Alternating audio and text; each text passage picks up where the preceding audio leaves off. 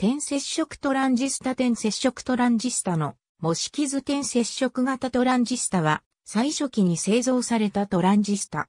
最初期に開発された半導体増幅素子で樹脂製の三角形の頂点に金属箔をつけて切り込みを入れてゲルマニウムの小片に押し付けた構造になっている。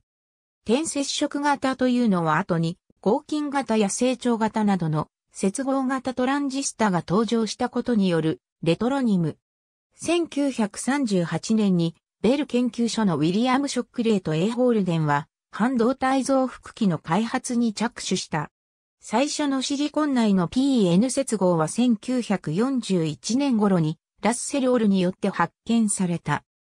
1947年11月17日から1947年12月23日にかけてベル研究所でゲルマニウムのトランジスタの実験を試み、1947年12月16日に増幅作用が確認された。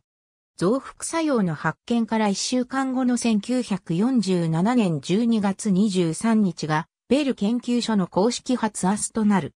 特許出願は1948年2月26日にウェスタンエレクトリック社によってジョン・バーディーンとウォルター・ブラッテンの名前で出願された。同年6月30日に新聞で発表された。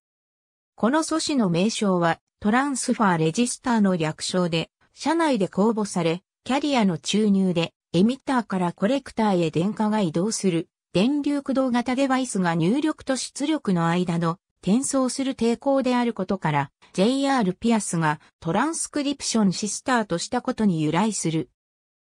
初期のラジオやコンピュータなどに使用されたが、接合型トランジスタの普及により短期間で廃れた。ありがとうございます。